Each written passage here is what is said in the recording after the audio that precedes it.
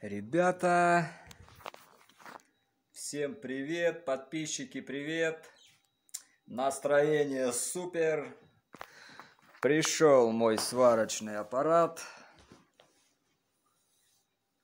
Вот такой красавчик. Ударник УИС 160. Купил я его в магазине 220 вольт, но это не реклама, короче, то есть, ну, не хотел, я вообще не хотел говорить, в каком магазине покупаю, да, там, я везде всегда в разных магазинах покупаю. Я это сказал, потому что э, вместе с сварочным аппаратом пришла вот такая вот бумажечка, на которой написано, что они просят прощения, на коленях стоят и говорят, простите нас, Сергей Викторович, Простите нас, пожалуйста. Мы больше так не будем. И пишут здесь э, э, то, что оригинальный гарантийный талон на приобретение вами изделия в настоящий момент э, отсутствует. Купон компании 220 вольт гарантирует вам получение оригинального гарантийного документа производителя. Для заказа оригинала просим вас позвонить. Короче, чтобы за ну, оригинальный, короче, э, как его, гарантийный талон приобрести, нужно им позвонить э, на этот номер и заказать э, этот талон. Я так понял, короче.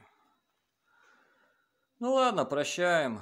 Бог прощает, и мы прощаем, конечно же. Мы простим, и Бог простит, как говорится. Вот он, красавец, вот он. Ну что, будем распечатывать. Честно, я еще даже не знаю, что там внутри. Запакован он хорошо, хорошо, я вам скажу. Прям так хорошо, короче. Не знаю, мне что-то этот аппарат прям понравился. Не знаю, по всем характеристикам. Будем смотреть, так это или нет.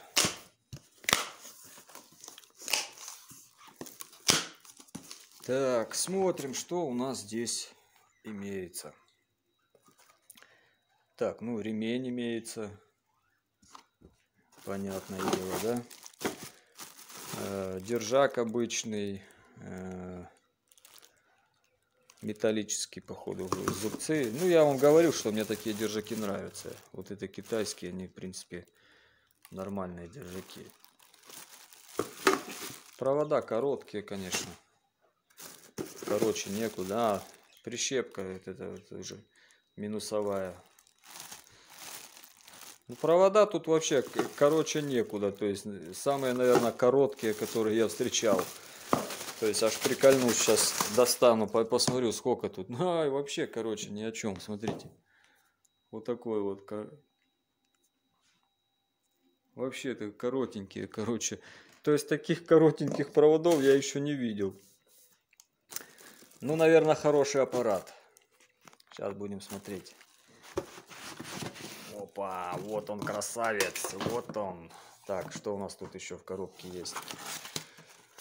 Так, а есть у нас здесь э, инструкция по эксплуатации.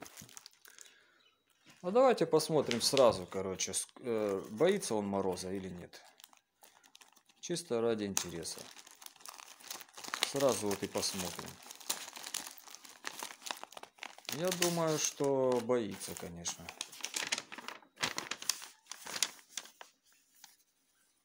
Так. Нет, представляете, вот смотрите, вот уже радует. Э, это вам не спец. Температура окружающей среды при эксплуатации аппарата должна быть от минус 10 до плюс 40. Понятно? Я же говорил, что этот аппарат уже идет как более-менее нормальный среди дешевых. От минус 10 он работает, а спец работает от плюс 5 написано. Так, ну давайте смотреть, что тут у нас за аппарат такой. Такой суперский. Запаковали его так. А, вот как. Ну, по весу ну, маленький такой, в принципе. Ну, а по весу нормальный. Килограмма, наверное, три, Наверное, килограмма три по весу такой. Приличный вес. Так, ну смотрим, что у нас здесь. А у нас здесь вот такая вот крутилочка. Такая легко крутится, в принципе. Крутилочка это регулятор. Ну, такое аккуратно, так все аккуратно сделано, нигде ничего не торчит. Вот эти уголки так шатаются, в принципе, но более-менее не торчат. Это уже радует. Такие ребра закрытые. Ага, вот смотрите, обнаружил что. Вот где ребра, да, не вставили туда эту пластину пластмассовую такую, знаете, защитную, чтобы не прикасалась до корпуса, если в случае падения там или чего. Вентилятор такой стоит небольшой, маленький-маленький, кстати. Манюсенький такой. Серьезно, я такого маленького еще не видел. Маленький вентилятор стоит, кнопка включения 30 амперная, походу. Э, так, внизу у нас тут, ну, эта плата держится на этих двух и ножки такие металлические, обычные, как у всех. Сбоку выглядит вот так. Ну, такой оранжевенький, симпатичный. Аппарат, давайте почитаем, что написано. Так, максимальный сварочный ток 160 ампер, продолжительность включения 40%. Так, а вот, о, здесь у нас что-то, тут прям написано прям много. Так, Так, что у нас тут? Холостой ход 66 вольт. 40% при максимальном токе. Ну, короче, 4 минуты он будет работать на, на максимальном токе. Понятно, да? То есть на все он будет работать 4 минуты. Без перегрева. Ну, такой вот симпатичный. Не знаю, прям мне нравится. И внутри, знаете, прям вот такой, там видно. Ну, сейчас мы его разберем, посмотрим. Так, давайте байнет. А, байнеты у нас, смотрите, видите, байнеты будут несъемные. Ну как несъемные? Они съемные, короче, только сложно найти такие байнеты, чтобы их поменять. Видите, они внутри нету болта, короче, то есть такие байнеты найти сложно. Можно, выточить там где-то у кого-то. Ну, лучше их, конечно, не выпаливать. Так. Здесь все то же самое написано. Короче, вентилятор дует внутрь, внутрь сварки. И он маленький такой. Вот он, смотрите, какой. Сколько тут? 5 сантиметров. 5 на 5, короче. Вот такой вот вентилятор здесь стоит. Да, Василий? Маленький вентилятор. Согласен с тобой. Вот, короче, таких маленьких вентиляторов еще не встречал. А, ну, такой плотненький, взбитенький такой и тяжеленький. Тяжеленький. Так, давайте его включим в розетку, работает он хоть или нет. Так, подключила я его к розетке. Давайте посмотрим, как он работает и как шумит и с какой задержкой включается. Итак, включаем. Ну, задержка есть небольшая, это уже радует. Вентилятор дует, хоть и маленький, но вы знаете, он дует хорошо. Смотрите. Как вам показать? Смотрите. Видите, как дует? Хорошо прям дует. И шумит так вроде бы не сильно. Он такой маленький. Серьезно вот сейчас вам покажу, с чем вот сравнить, короче. Вот взял рулетку, смотрите.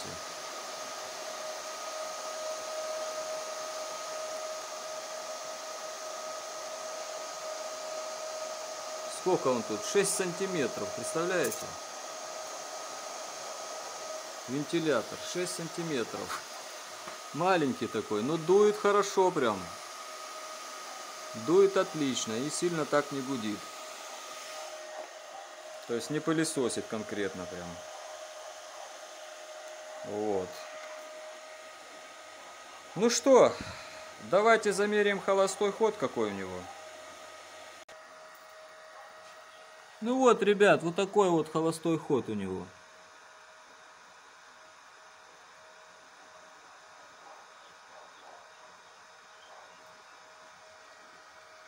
Шестьдесят один, шестьдесят два показывают.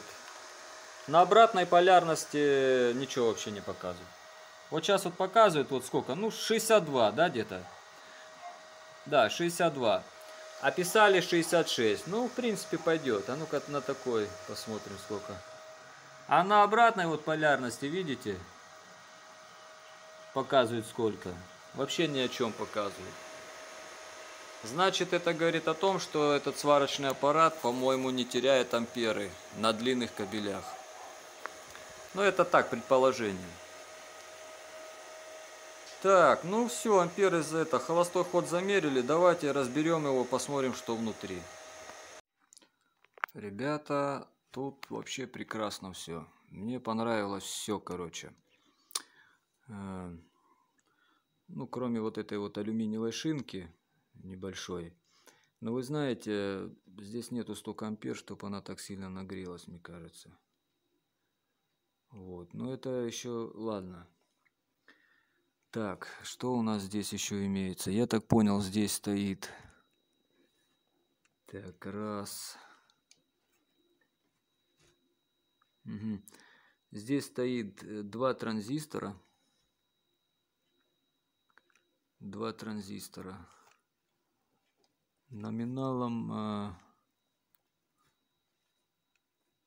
Не видно какие. Но термопаста под ними есть.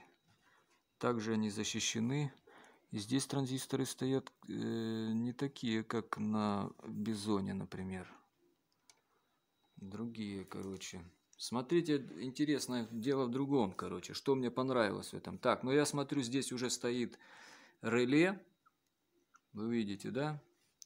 Вот оно, реле стоит. Что я не наблюдал в других дешевых сварочных аппаратах. Здесь оно уже стоит. Здесь стоит три конденсатора. Аж три. Маленькие, но аж три штуки.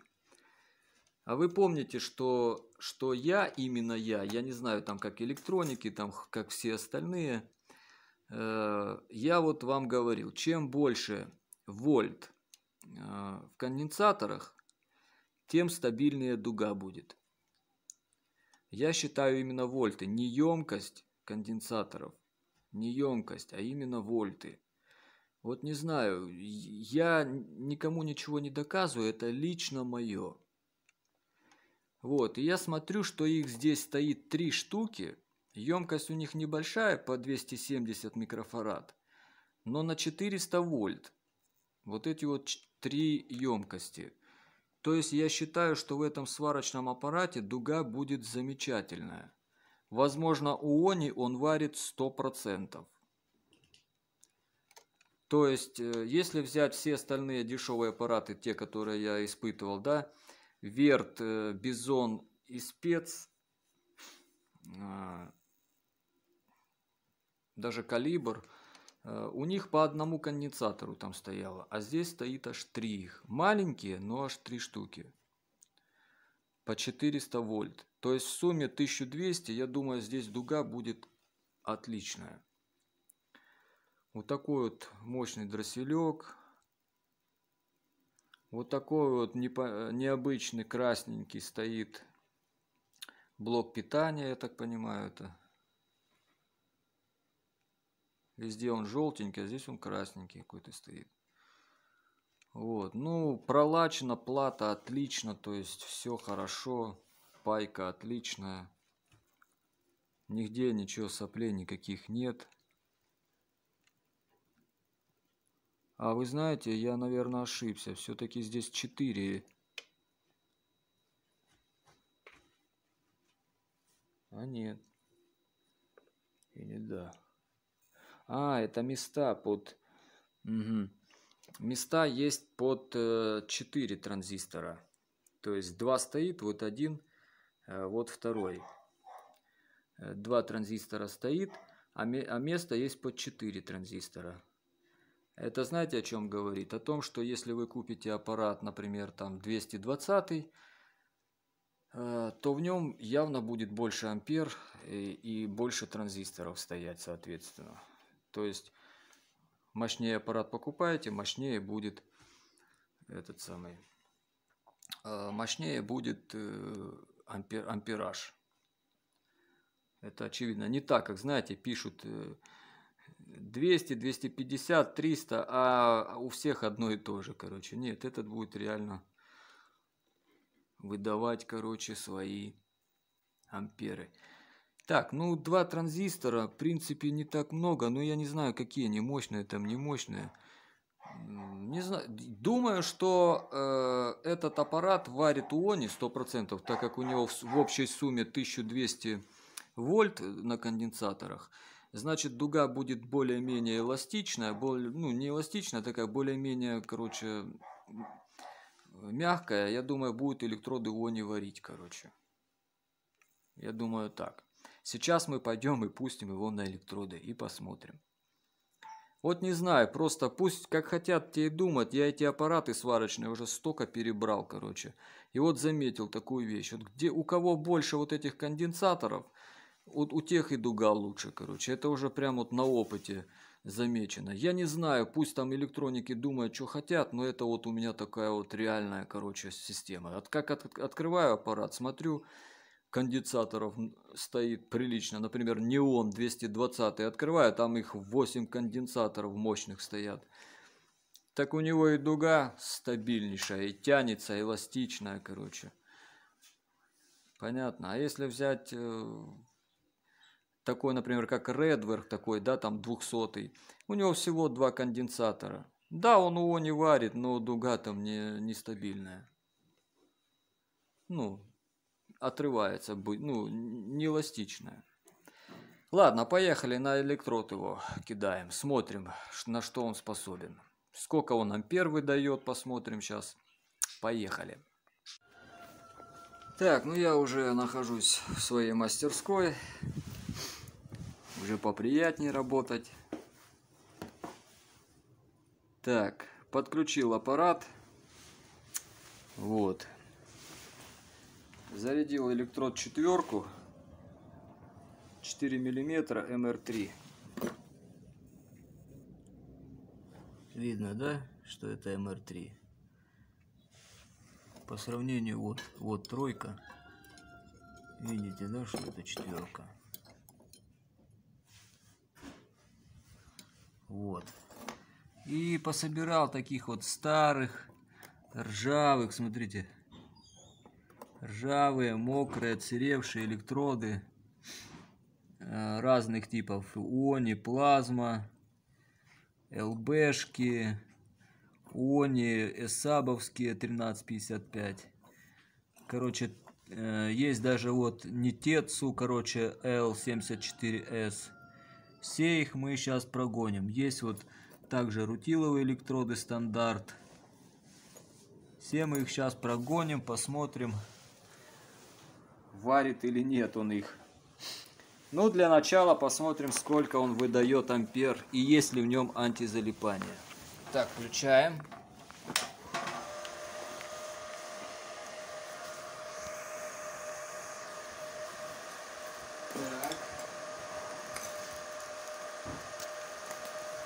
смотрим. Сначала смотрим э, короткий ток. Смотрим. Ток на коротком замыкании и антизалипание есть или нету.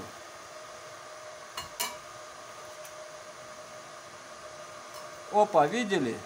Ток короткого замыкания у нас получается 125 ампер. И э, антизалипание сработало. Сбро, давайте еще раз посмотрим. 125 и сбросила на 25. То есть антизалипание в этом аппарате есть. Теперь смотрим на максимальный ток, сколько он выдает.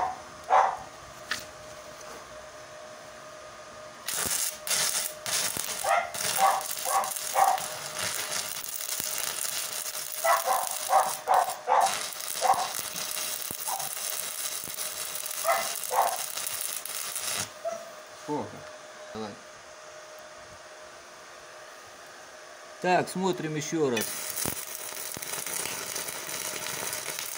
110 ампер он выдает.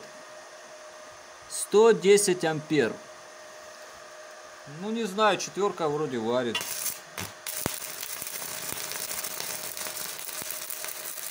Вот я четверку жгу, короче. Варит 110 ампер. Так, ладно. Э, маловато, да? 110.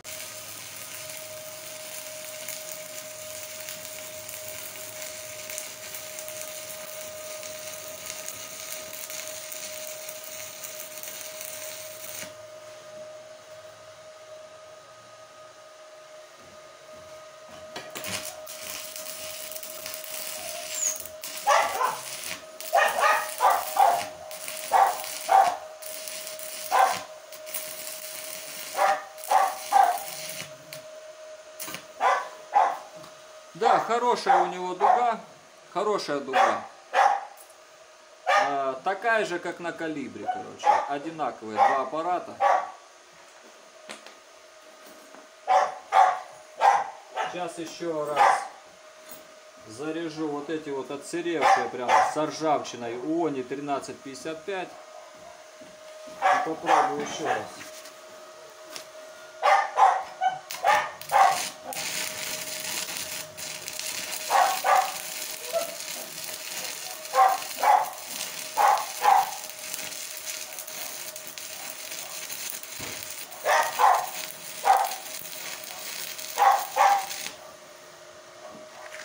Да, на меня.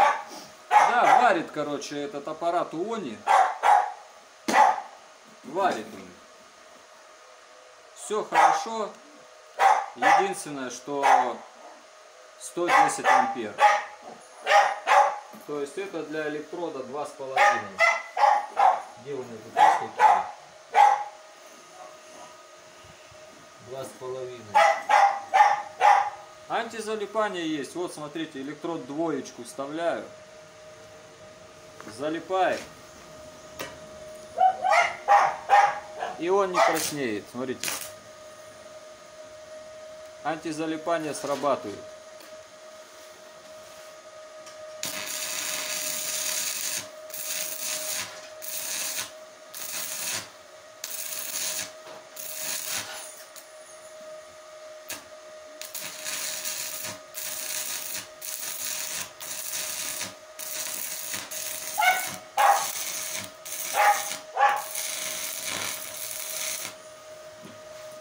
Да, хороший, короче, аппарат.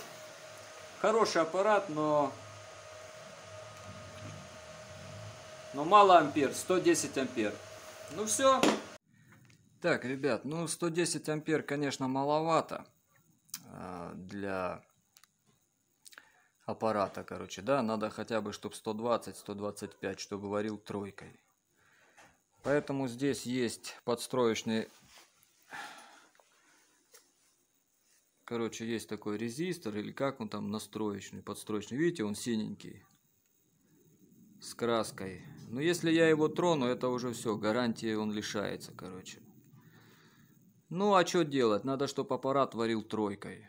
Поэтому сейчас я сделаю ему два полных оборота и пойдем проверим, сколько он будет выдавать ампер.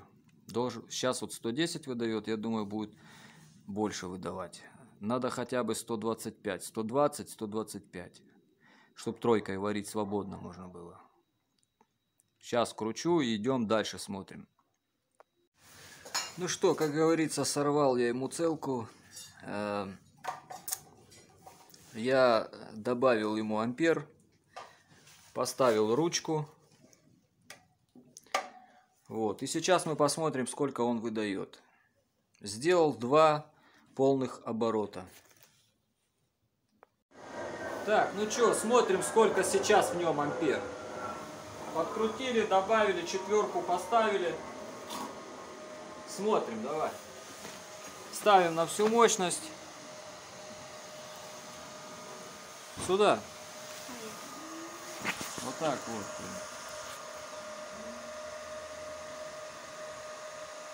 Все? Да.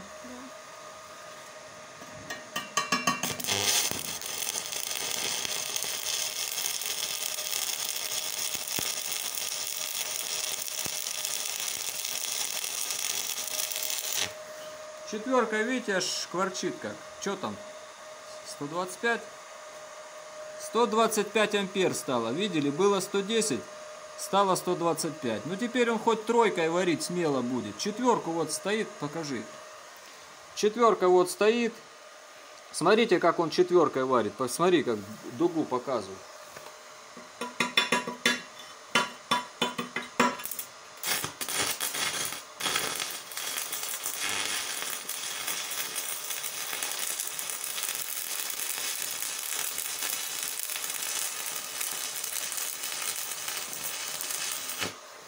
Это четверкой он так шмалит теперь.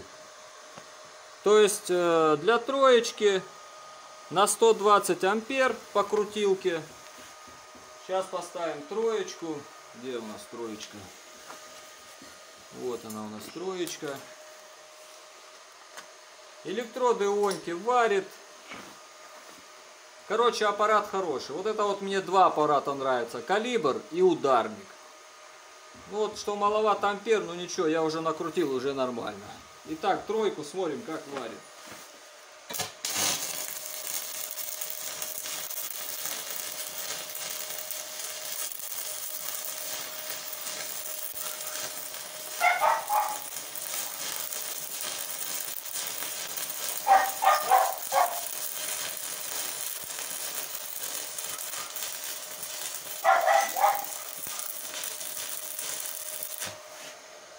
Отлично он не варит. Покажи на каких амперах.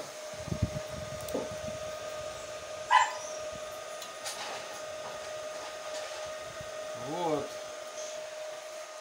Сейчас, сейчас все отлично, короче. Так, смотрим, шов какой. Дуга у него хорошая. Такая же, как на калибре, короче. Мне нравится. Вот такой шовчик. меня давай.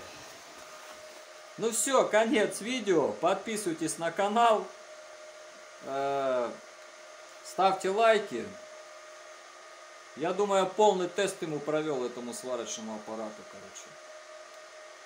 То есть, немножечко, видите, надо добавить ему ампер, чтобы он э, чувствовал себя хорошо. Потому что китайцы его собирают, дабы собрать, короче, 110 ампер, ему мало. Я видел вообще у него 150. Я когда настраивал этот сварочный аппарат, настроил ему 135. Э, ну, побоялся много. Я не хочу. То есть 125 ампер это нормально для электродов тройки, чтобы было с запасом как бы. Поэтому я больше не делал. Могу и больше ему сделать, но этого не надо делать. То есть 125 ампер на два транзистора это нормально. Ну все, пока.